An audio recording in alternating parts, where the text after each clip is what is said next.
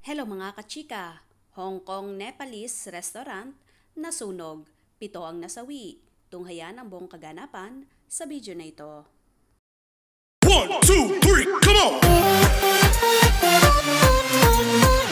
Come on, come on. Pitong katao ang nasawi sa sumiklab na sunog sa isang Nepalese style na kainan na matatagpuan sa unang palapag ng may 69 taong gulang ng gusali sa Yaumate noong linggo. Ayon sa South China Morning Post, ipinagdiriwang ng mga pamilya ang karawan ng isang bata, pati na rin si Diwali, ang Hindu Festival of Lights ng maganapang sunog. Ito na ang pinakamalubhang sunog sa Hong Kong sa halos isang dekada. Kinilala ng mga otoridad ang pitong nasawi na apat na lalaki at tatlong babae na may edad 8 hanggang 40.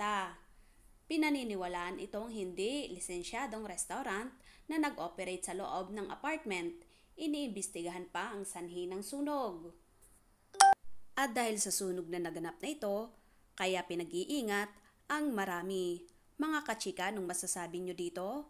Kung kayo ay di pa nakapag-subscribe sa channel ko, maaari mag-subscribe and hit my notification bell para maging updated kayo sa next chika ko.